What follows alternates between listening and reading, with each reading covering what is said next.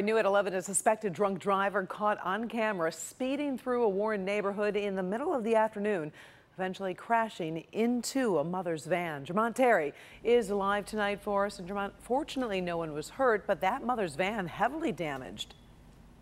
You're right, Karen. And tonight, Warren police they are still looking for that suspected drunk driver. This man did more than just run into this mother's minivan. He drove the wrong way down the street, narrowly hitting another vehicle head on. And when neighbors stopped to check on him, this guy took off running. And tonight, he's still on the run.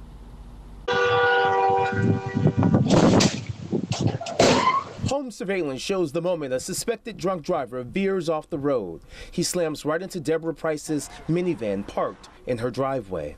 It's a lot of damage. Her front bumper lies in the driveway, but take a closer look at what the man behind the wheel does after jumping the curb. Oh you can see Price's daughter running across the street, all the while everyone thinking it's something medical with the driver. And he took out the utility pole, my mom's vehicle, and the neighbor's vehicle.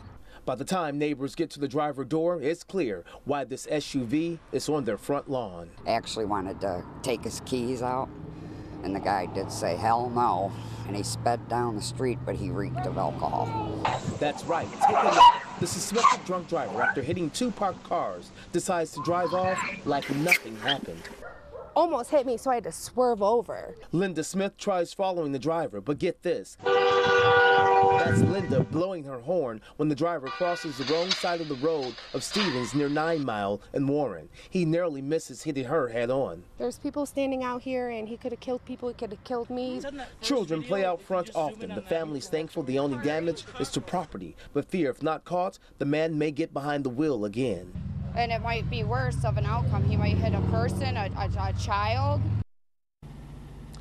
Now, Warren police, they are looking for a white Kia SUV. Neighbors, they got a partial license plate. Of course, if you know anything about what happened out there, you're urged to give Warren police a call. Reporting live in Warren, outside the police department, Jermont Terry, Local 4.